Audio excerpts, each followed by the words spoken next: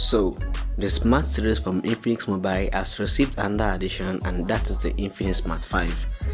The Smart series from Infinix Mobile are more of entry-level devices and let's say a budget-friendly device as well. In the previous years, we've seen the Infinix Smart 4, the Smart 3, the Smart 2 HD and more. Infinix also launched the Infinix Smart 4 Plus in other countries this year like India. Anyways, we do not have the Infinix Smart 4 Plus in Nigeria, but I was thinking we are going to have that, but Infinix jumped to Infinix Smart 5. So guys, this is my Infinix Smart 5 unboxing and review video. Make sure you watch this video to the end to know everything about this new beautifully crafted smartphone. But you know the drill guys, before we get to it, make sure you subscribe to my youtube channel if you haven't done that and you can give this video a thumbs up and drop a comment because that really means a lot to me. And you can also share this video to your friends. So guys let's try it out.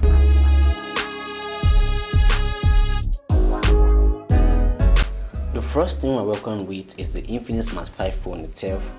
And on the seal on the display of the device we can see some of the listed specifications about the Infinix Smart 5 it has a 2GB RAM and also it has 2GB internal storage.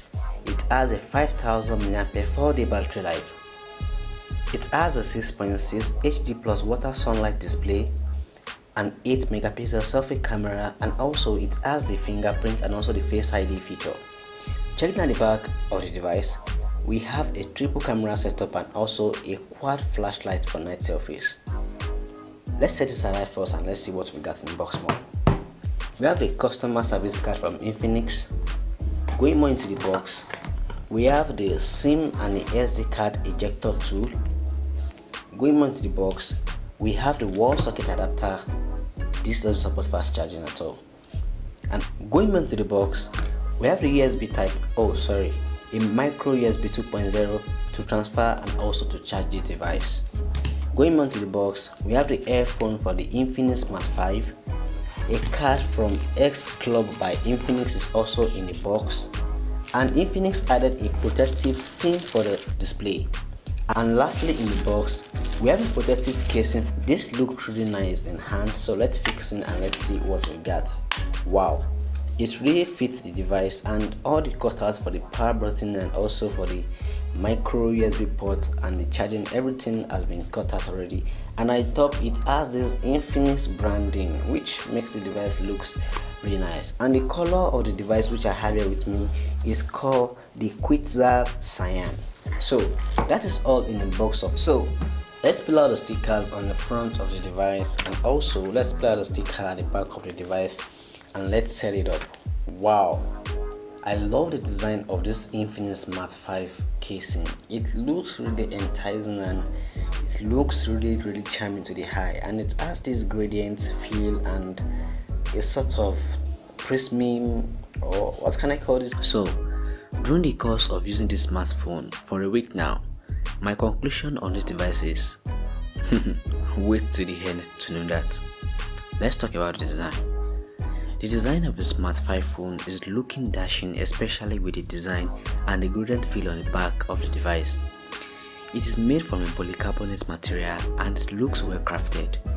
On the front, there is a 6.6 inch display with a water drop cutout for the 8 megapixel front camera. At the top of the device, there is a dual flashlight which is meant for enhancing the night surface you take, though the left front light serves as a charging notification light. The device has thin bezels though the chin on the device looks big.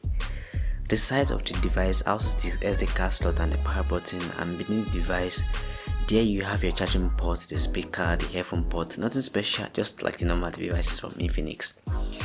And at the back you have a triple like camera setup aligned vertically. I said triple like because while looking at it, it looks like a triple camera module, but it's just two the third one is a QVGA module. Also on the back is a super fast fingerprint sensor. The display of the Smart 5 is a 6.6 inch HD display with a 720 by 1600 resolution and a 19.5 by 9 aspect ratio. The display is an IPS type display and if you want you can hide the not cut out area at the top of the device or switch back to enjoy the beautiful look.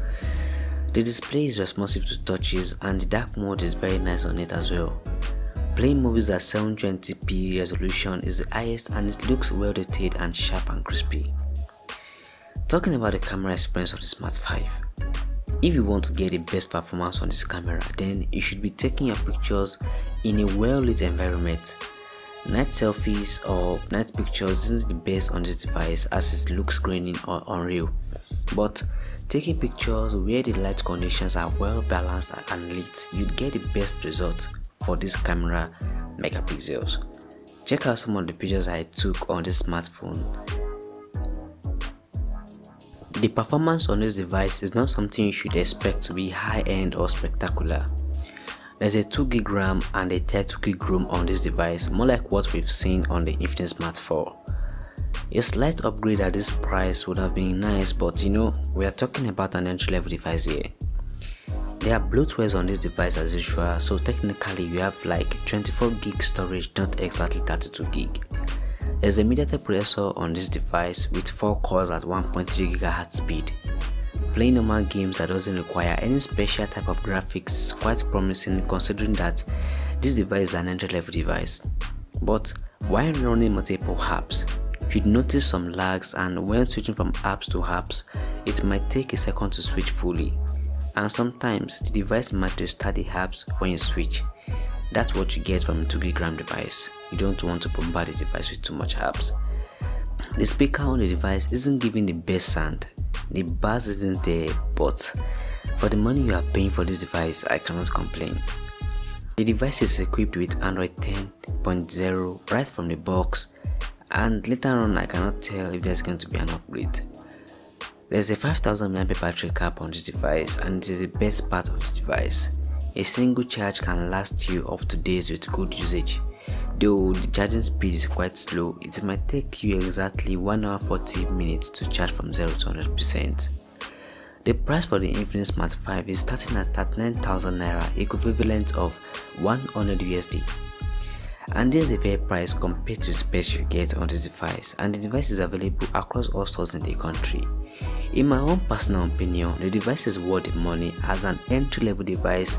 It is good enough and the money you are paying isn't too bad as well. But do not expect an extraordinary performance on this device.